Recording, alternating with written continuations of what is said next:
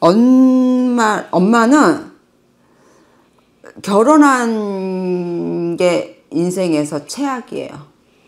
네, 그런 것 같아요. 차라리 결혼을 안, 안 하고 했- 사셨으면 내 인생에 프리랜서처럼 엄마는 돌아다니면서 내가 충분히 먹고 사는데 지장 없이 살았었어야 되거든요.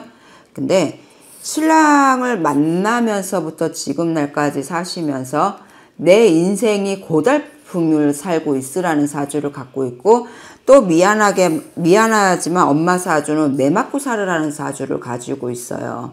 어?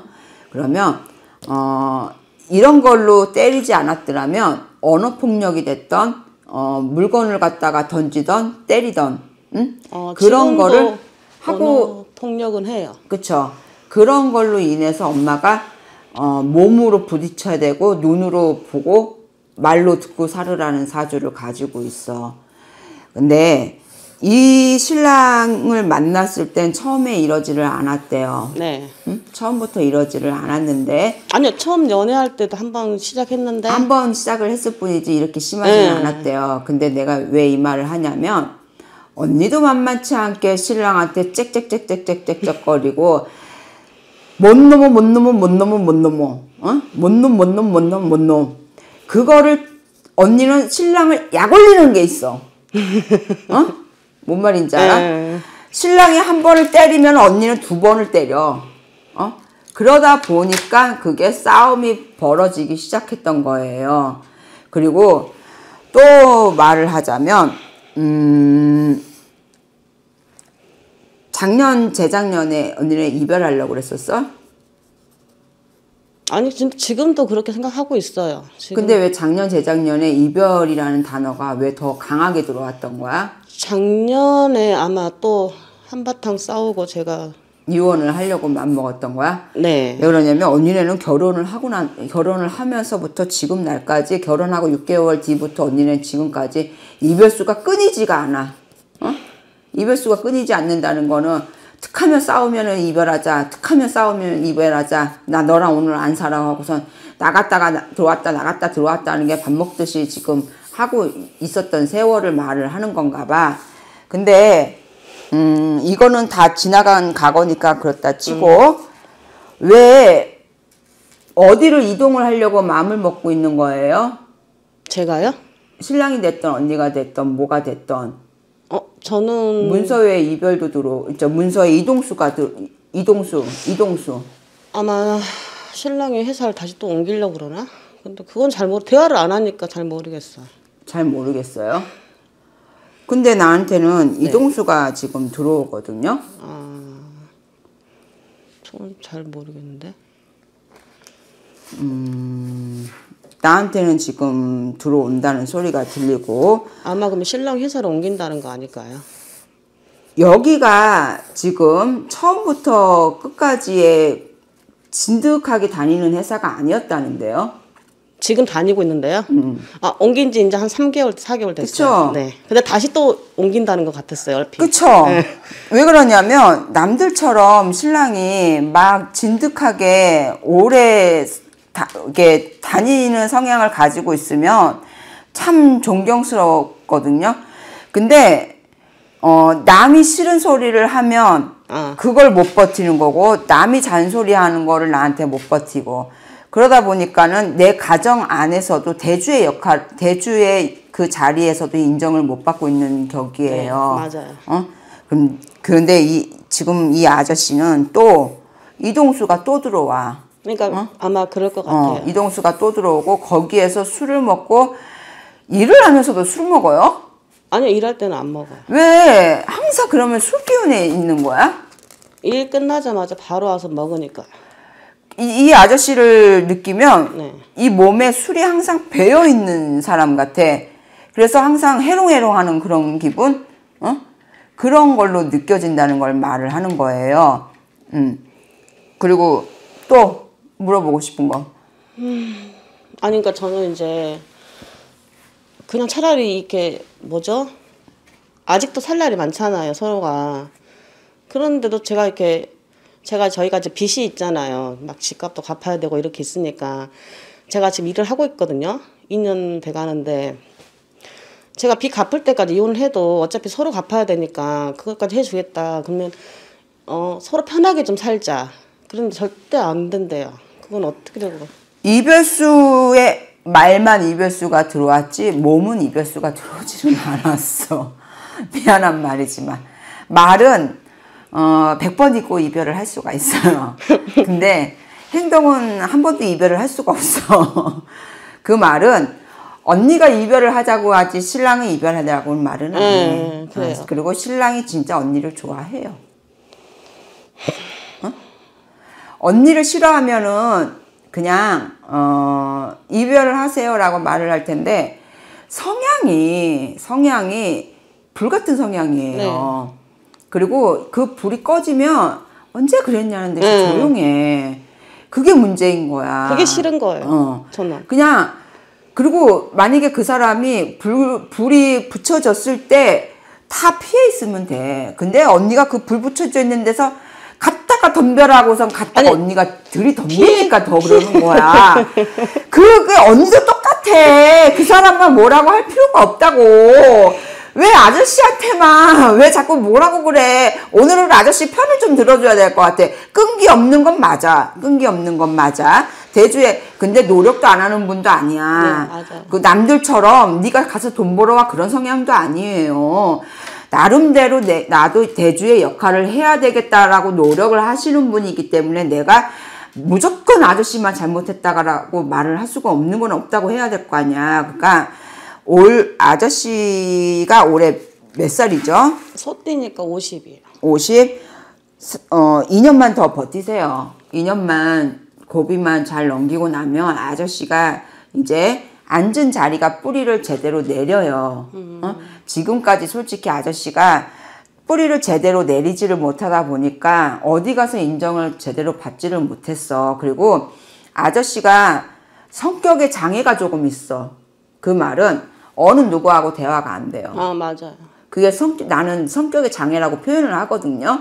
그러니까 회식 자리도 안 가고 그러니까- 맨날 집에 칼퇴근. 어, 성격의 장애가 있으시다 보니까 이 아저씨가 어렸을 때부터 내 부모의 그늘에서 제대로 자라지를 못하신 분이에요.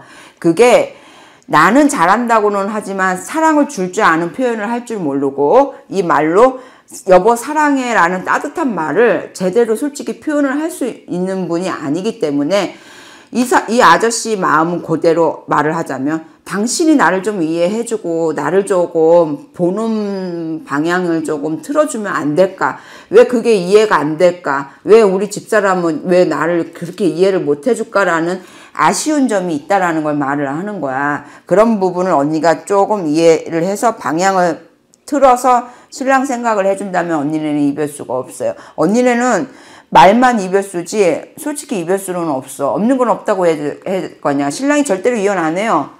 이혼할 수가 없어요. 이혼하면 나한테 쫓아와. 왜, 왜, 저, 왜 이, 이별했는데 왜 점을 못봐 쌓여가고서. 이별 수가 없어요. 그러니까 그걸 언니가 좀 성격을 맞춰서 살아. 그리고 언니는 그때뿐이야 욱해가지고 씨발 오늘 안 살아가지고 내일 내일 뒤돌아서면은 저 사람 불쌍해서 나 아니면 또 누가 데리고 가냐 그 그거야 내 말 틀려? 모르겠어. 모르겠어? 그냥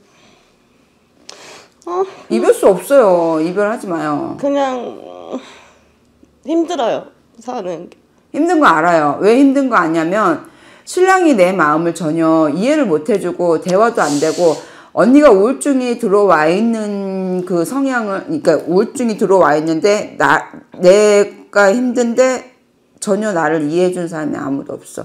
내 마음을 읽어주는 사람이 아무도 없어요. 언니도 만만치 않게 어렸을 때부터 지금 날까지 외로운 삶을 어, 저 살았어요. 그랬어요. 어, 외로운 삶을 살아서 나는 그 외로운 삶을 신랑한테 보상을 받으려고 결혼을 한 건데 보상은커녕 내가 그 신랑한테 보상을 해주 해줘야 돼요. 그러니까 내가 너무 버겁대. 응. 버거워요. 그러니까 이게 그냥 끝나는 전쟁이 어느 정도 끝났으면 좋은데 이 전쟁이 끝나지를 않아. 벌써 20년째 그러고 어, 그러니까 기나긴 전쟁이에요. 근데 내가 봤을 때는 한 2년만 있으면 이 전쟁이 끝나요. 응? 그러면 그때 정도 되면은 그래도 내 신랑이 스스로가 지쳐서 포기해. 신랑이 지쳐서 포기를 해요. 그러면 무덤덤하게 아마 사신다는 거를 말을 하는 거고 언니한테는 자식이 있어야 되는데 네, 둘 있어요. 근데 어, 아들이 누구예요? 큰 아, 아, 그러니까 위에 위에? 첫째, 첫째. 이 아이가 말을 안 해. 네, 약간 말을 안 해요. 속에 담아둔 스타일. 어, 그 말은 내, 부, 내 부모의 그늘에서 이 아이가 우울증을 안고 있어요. 응? 그런 성향을 갖고 있어요. 언니네도 중요하지만 언니네 집에 아이도 중요하다. 지금 그러셔. 이 아이가 어, 내 인생에 재미라는 걸 못 느껴요. 벌써 어린 아이가. 그리고 내가 뭐를 해야 되겠다라는 거를 전혀 못 느끼고 내 부모의 원망이 벌써 내 마음속에 앉아버렸어요. 그리고 나는 내 부모같이 살고 싶지 않다라는 이 생각이 벌써 자리에 앉아버렸어. 그러면 어, 아버지도 정신 차려야 되고 엄마도 정신 차려야 돼. 나만 힘들다고 지금 징징댈 때가 아니라 내 애들도 지금 힘들다. 그러면 내가 정신을 바짝 차려서 중심을 잡아야 되겠구나. 잘못하다가 내년 내후년 수전에 엄마네 집에 이 기둥이 무너지는 격이야. 뭔 말인지 알죠? 그 무너진다는 소리는 얘는 얘대로 힘들고 엄마는 엄마대로 힘들고 아, 아버지는 아버지대로 힘들고 이 아이는 또 이 아이대로 힘들다 보면 충돌이 들어와서 음. 그때는 시끄럽다는 소리가 들려요. 그러니까 그게 기둥이 이제 뿌리가 조금 흔들흔들 거린다는 소리가 들려. 그러니까 2년만 고, 고비를 넘겨놓고 난 다음에 어, 그때 조금 엄마 눈으로 내가 변화가 온다라는 소리가 분명히 들려요. 오케이? 네. 그 딸은 어때요? 딸. 딸은 음, 딸이 몇 살이에요? 지금 18이야. 닭띠. 이 아이는 간을 간을 씌우세요. 응? 간을 씌우시라고. 간 씌우라는 소리는 응. 어, 공무원 시험.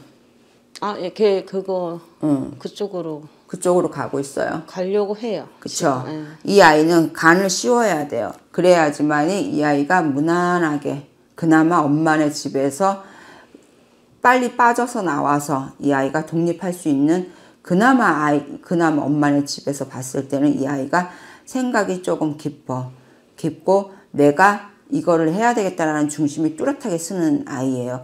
어찌 아버지를 안 닮았어. 그치? 이 아이라도 희망을 가져야 되지 않을까?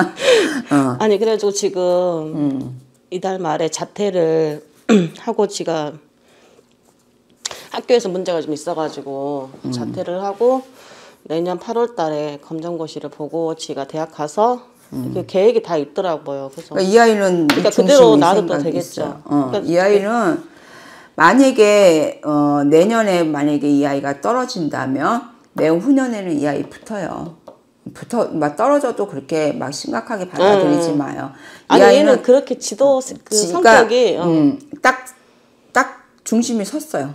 네, 중심이 맞아. 섰기 때문에 엄마가 이렇게 하라고 해서 이 아이 들을 애가 아니에요. 음. 어, 그러니까 엄마는 이 아이한테 이래라 저래라 할 수가 없어. 어, 딱내 마인드가 딱 제대로 박힌 아이예요. 네, 맞아요. 그런 것 어, 같아요. 그러니까 이 아이는 걱정은 없어. 없는데 이 아들과 엄마네 큰 아들과 엄마 옆에 큰 아들과 아, 알아요. 엄마 큰 엄, 어, 엄마. 어떻게 알아요? 저 핸드폰에 큰 아들 다 있는데. 진짜? 네, 신랑과 큰 아들이. 엄마 큰 아들과 작은 아들과 어 그 그분들만 어. 문제지. 어, 어이 아이는 어, 큰 딸은 큰 딸은 어, 크게 문제 되지는 않는다. 오케이? 네.